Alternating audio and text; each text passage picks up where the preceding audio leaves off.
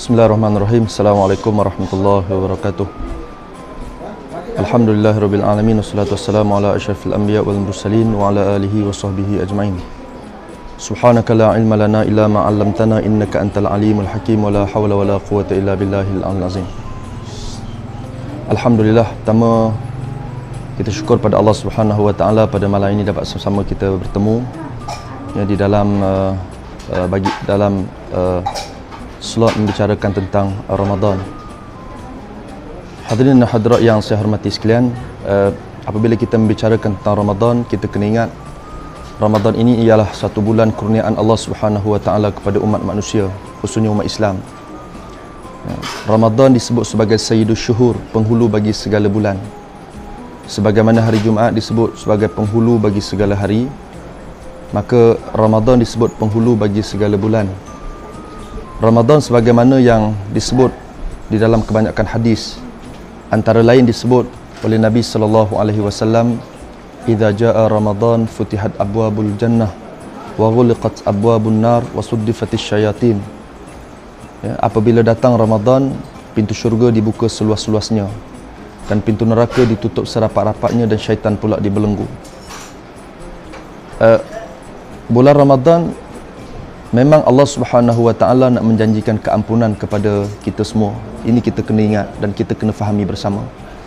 Ya, tak cukup dengan Allah Taala sebut pintu syurga dibuka seluas-luasnya, pintu neraka ditutup serapat-rapatnya. Syaitan yang disebut sebagai musuh kita pula dipenjara oleh Allah Subhanahu Wa Taala. Ya, saya tidak nampak dan saya tak terfik, saya tak, tak dapat fikir bagaimana umat Islam tak boleh nak meraih keampunan di sisi Allah. Dan kita sedia maklum uh, takwa adalah uh, suatu perkara yang memang kita disuruh cari. Ya takwa ini satu benda yang yang sangat penting bahkan sebagai uh, sebagai uh, kesempurnaan ya bagi kehidupan seorang muslim ya di sisi Allah Subhanahu wa taala.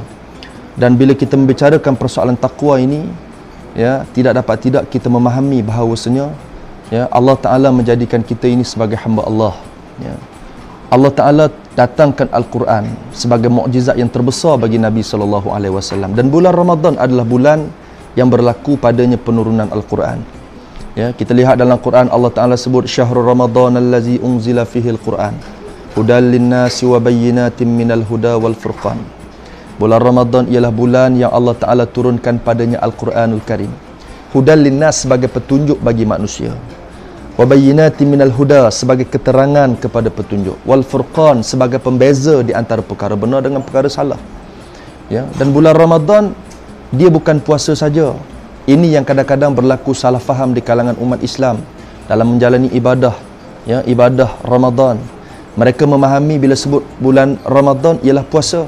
Maka mereka puasa sajalah ya tetapi lihat di sana berlaku aurat tak tutup semayang tak jaga dengan jiran masih berbalah bergaduh ia masih lagi tidak ia melaksanakan uh, perkara yang lebih penting ya daripada perkara yang penting. Ya kita baca dalam kitab bidayatul hidayah ya disebut Imam Ghazali sebut inna awamirallah i'lam inna awamirallah faraidun wa nawafil. Ya ketahuilah sesungguhnya perintah Allah ini ada yang bangsa fardu ada yang bangsa sunat. Ya fa ammal fard adapun fardu-fardu ini adalah ya fardu-fardu ini disebut sebagai modal dalam perniagaan. Adapun sunnah ini amalan sunnah ialah keuntungan. Ya, macam mana kita mem- memahami ibadah ya ataupun kita mencari keuntungan dengan tidak dengan tidak memikirkan tentang modal. Ya, dalam dalam dalam dalam ibadah Ramadan, dalam kita menjalankan melaksanakan ibadah. Pertama asas kepada ya, yang yang perlu ada, yang perlu difahami oleh umat Islam ialah setiap apa yang kita buat mesti berpaksikan kepada ilmu pengetahuan ya lihat saja apa yang disebut oleh ya Syekh uh, Raslan dalam matan Zubat ya disebut wa kullu man bi ghairi ilmi ya'malu a'maluhu mardudatun la tuqbalu. Ya dia kata sesiapa yang beramal ia dengan satu-satu amalan ya yang dia sendiri pun tak tahu amalan ini daripada mana maka amalannya tertolak sama sekali tidak diterima oleh Allah Subhanahu wa taala. Yang ni yang kita bimbang. Takut-takut Ramadan silih berganti ya Ramadan demi Ramadan umur semakin meningkat amalan tak bertambah ya yang kita faham apa yang segelintir umat Islam faham ialah ya tak makan tak minum saja ya sedangkan di sana bila sebut Ramadan Ramadan adalah bulan bulan uh, kekuatan bagi umat Islam. Ramadan juga disebut sebagai syahrul jihad. Ya. Kita lihat dalam sejarah berlaku siri-siri peperangan di dalam bulan Ramadan. Ya, Islam diberi kemenangan ya dalam perang Badar sebagai contoh. Ya tentera Islam 313 orang menewaskan tentera musuh yang ramai. Begitu juga dalam perang peperangan Ain Jalut, dalam peperangan pembebasan Andalus ya yang dipimpin oleh Panglima Islam Tariq bin Ziyad.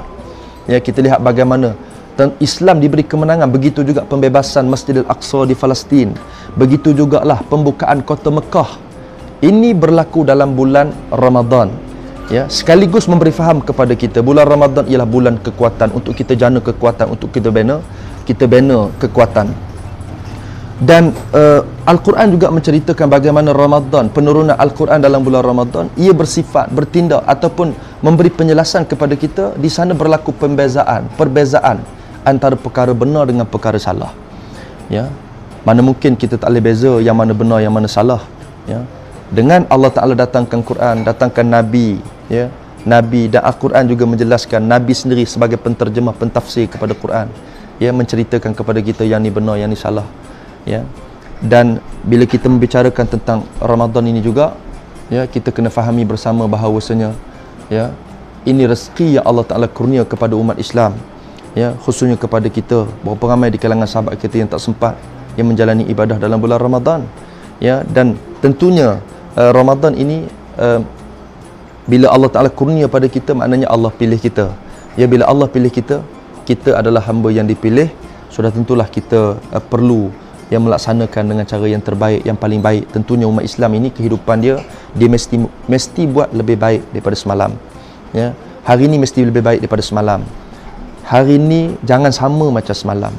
Ya ataupun hari ini lebih teruk daripada semalam ini orang yang malang ya dalam kehidupannya. Ya maka kita kena fikir bersama bagaimana kita nak uh, meneruskan kehidupan hari ini tentunya lebih baik daripada hari-hari sebelumnya. Ya tuan yang saya hormati sekalian uh, saya rasa sekadar tu dulu uh, untuk uh, untuk kali ini.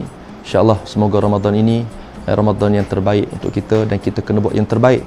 Ya semoga uh, uh, takwa itu menjadi milik kita bersama dan kita boleh bawa yang sampailah kita bertemu dengan Allah ya dalam uh, dalam dalam bulan-bulan yang lain pun Allah ini wujud ya. Bukan kata bulan ni saja kena jaga ya segala larangan segala segala apa ni uh, larangan-larangan Allah yang datang daripada Quran daripada hadis bahkan kita kena jaga ya dalam segala, dalam dalam setiap masa setiap waktu ya. Dan Allah tentunya memerhatikan kita ya. Dan bulan Ramadan tidak dinafikan memang ada kelebihan yang tersendiri. Ya semoga Ramadan ini Ramadan yang terbaik yang yang yang yang lebih baik ya daripada sebelum-sebelumnya. Wallahu alam